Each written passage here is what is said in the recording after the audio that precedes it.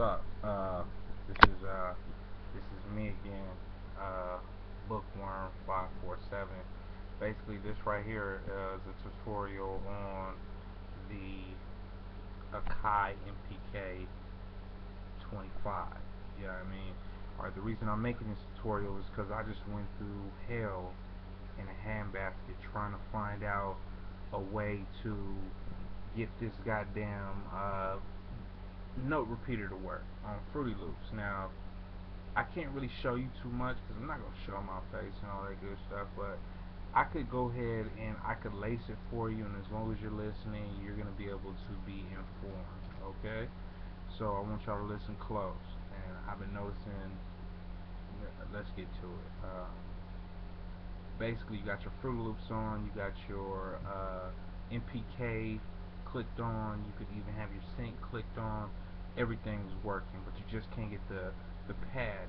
Well, the problem is, it isn't that it doesn't work. It is that if you go to global settings and you click over to the MIDI clock, try turning that internal,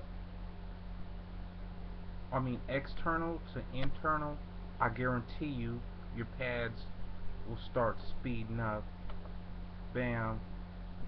Da, da, da, and then you use the tempo tap to speed up how fast you want it or how slow you want it basically um, I'm still figuring out this arpeggiator uh, the latch and all that but you know with your Pro Tools once you get it all hooked up with your uh, Fruity Loops my bad you should be able to stop play use record rewind fast forward but you know stop play record and do all that good stuff. So, you know, I couldn't really show you too much other than let me see if I can get this on. Uh, yeah, it's just too bright. The uh, the, the LCD is way too bright. So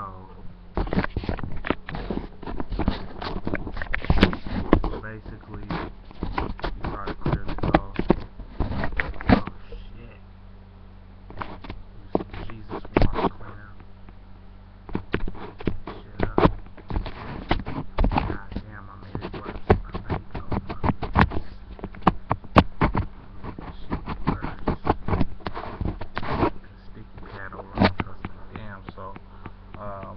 basically you got your your LCD pad right here.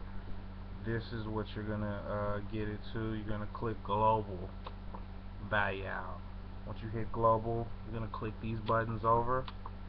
Till you see MIDI clock. Once you got that MIDI clock turn the external to internal. Pump your pad on it works. You turn on your uh, time division, tempo tap should be cracking. This speeds it up, slows it down. This is one fourth one. Also, you could go to edit, and then you could click on the tempo tap, enter that, and you could switch the quarter to 116 you know which is pretty fast 32 132 is faster notes and shit but usually when you have a quarter note an eighth note and so on and so on that's you know that's basically the speed you're gonna get from there. So you could also speed each and every one of these up higher than what they go because it only goes up to 30 second notes.